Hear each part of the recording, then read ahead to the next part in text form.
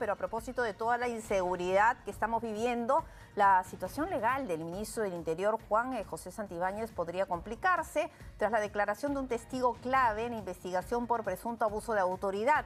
Se trata además de una persona muy cercana a él, ¿no? Del capitán de la Policía Nacional Junior Izquierdo, Yarleque, conocido como Culebra, quien asistió a una diligencia fiscal el último martes. El abogado del capitán izquierdo, el doctor José Carlos Mejía, lo que ha informado es que su defendido, el oficial de la policía, ha presentado un USB con cinco nuevos audios que contienen la voz del ministro Santibáñez y que fueron grabados durante una reunión sostenida el pasado 21 de mayo de este año. La investigación contra Santibáñez se inició tras la difusión, recuerdan ustedes, de un primer audio en el que el titular del sector presuntamente pedía al capitán izquierdo controlar al periodista de la encerrona, Marcos Cifuentes.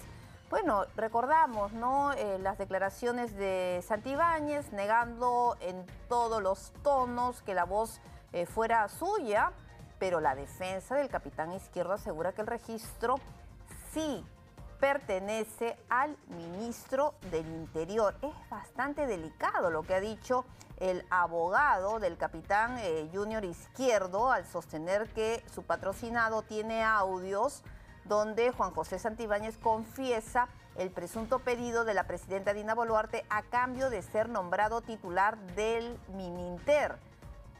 Supuesto pedido que tendría que ver con la desactivación de la DIVIAC.